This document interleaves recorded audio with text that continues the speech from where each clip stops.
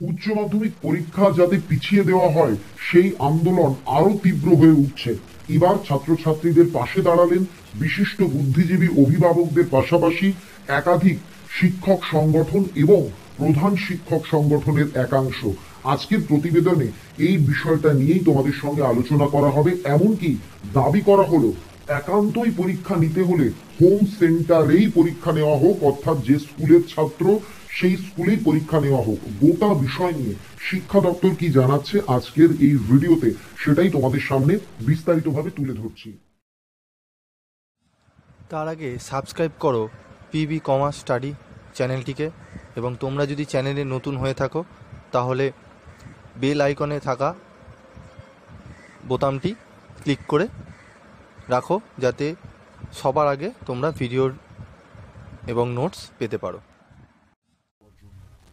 Corona সংক্রমণ যে হারে বাড়ছে, তাতে উচ্চ মাধ্যমিকের বাকি পরীক্ষাও পিছিয়ে দেওয়া হোক। সমাজের বিশিষ্ট ব্যক্তিবর্গ গতকাল পরশু তোমাদের জানিয়েছিলাম এই বিষয়টা, এবং শিক্ষকরা এমনই পরামর্শ দিয়েছেন সরকারকে। অর্থাৎ সরকার প্রথম থেকেই পরীক্ষা নেওয়ার যে অনমনীয় মনোভাব দেখাচ্ছিল, সেই জায়গাতে কিন্তু ইতিমধ্যেই প্রশ্ন ছুড়ে দিয়েছেন সমাজের বিশিষ্ট ব্যক্তিবর্গ এবং আমাদের প্রত্যেকের সম্মানের শিক্ষকেরা।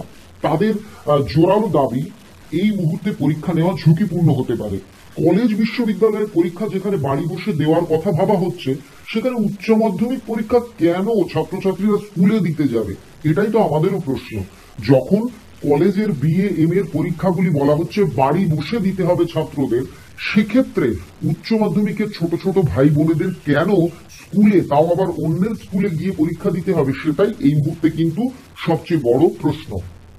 এ নিয়ে শিক্ষামন্ত্রী শুধু বলেছেন, সর্বভারতীয় প্রেক্ষাপটের দিকে নজর রাখছি আমরা। অর্থাৎ গতকাল আমি যে ভয়েসটা শুনিয়েছিলাম, সেখানে শিক্ষামন্ত্রী শুধু এটুকুই বলছেন, যেটা একদিকে আশার আলো, যে সর্বভারতীয় প্রেক্ষাপট, অন্যান্য বোর্ড, সর্বভারতীয় বোর্ড যেরকম ডিসিশন নিচ্ছে, সেটা আমরা দেখেছি। এই নিয়ে আমরা ভাবনা চিন্তা করছি। আরও কি বলা রয়েছে এই প্রতিবেদনে? জুলাই স্কুল খোলা সম্ভব কিনা এবং উচ্চ মাধ্যমিকের বাকি পরীক্ষা নেওয়া যায় কিনা এই দুটি বিষয়ের উপর বিশিষ্টদের কাছে মতামত জানতে চেয়েছিলেন শিক্ষা দপ্তর। শিক্ষা দপ্তর বিশিষ্টদের বলেছিলেন, আপনারা বিচার করুন, আপনারা আপনাদের মতামত জানান যে জুলাই মাসে আমরা স্কুল খুলতে পারব কিনা এবং জুলাই মাসে যদি উচ্চ মাধ্যমিকের পরীক্ষা নিই তাহলে কি হবে?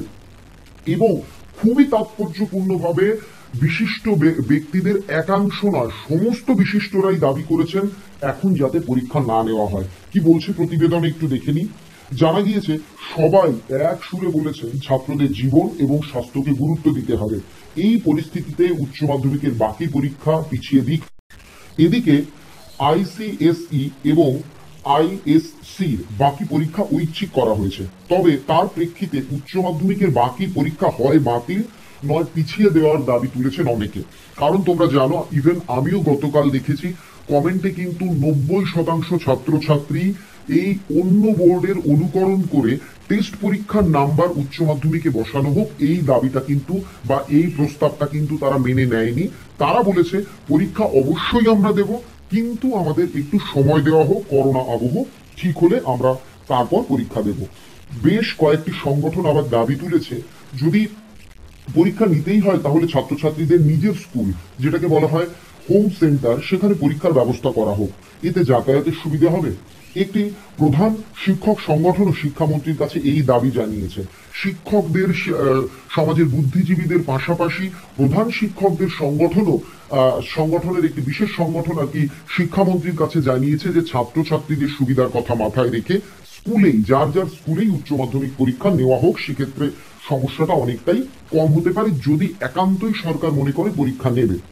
তাদের বক্তব্য, হোম সেন্টারে পরীক্ষা, কিন্তু আর কি এই উচ্চ মাধ্যমিক শিক্ষা সংসদ এই দাবির সঙ্গে সহমত নয়।